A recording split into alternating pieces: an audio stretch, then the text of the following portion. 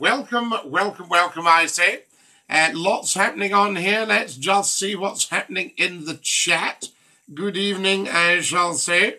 And uh, you can say good evening back to me. There we are. Good evening. Lovely. There we have it. Wonderful stuff. Good evening. That's it. And that's you got it on the chat there now. Fantastic stuff. Welcome, welcome, welcome, I say. We're also joined by our beautiful TikTokers. They're coming and joining us as well tonight. So that's just amazing. Now, lots and lots of subjects for discussion tonight. But very importantly, we're going to talk about mobile phones now. I know mobile phones is how a lot of us are actually receiving this internet phone in.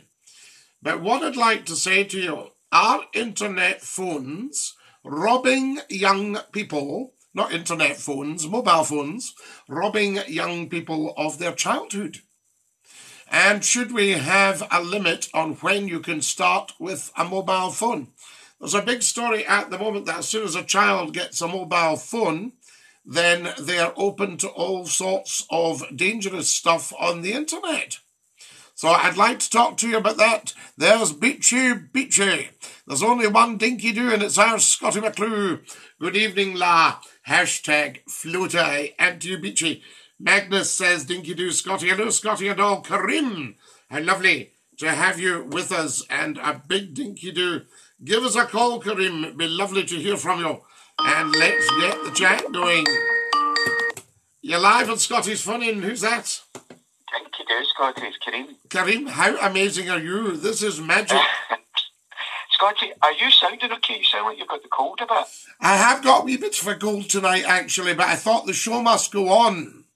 Absolutely. I thought myself, do I, do I do I actually go on, or do I pop up a wee sign and say having a rest tonight? Yes, yes. But, But, if uh, you're feeling, if you're feeling a bit, uh, what's the word, sluggish, then end it early. Ah, well, we'll see, we'll see how we go, but the important thing is, I think it's nice to keep the continuity.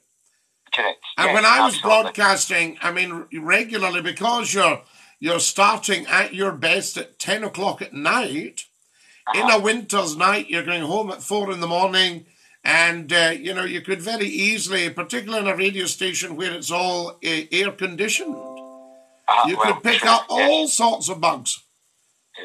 You know, and uh, and you you just pressed on with it. I can remember one night going on, and I'm just talking like this, and we spent the whole program. Oh, have you tried lemon and honey? And you know, fantastic. I've tried everything. Tried everything, absolutely.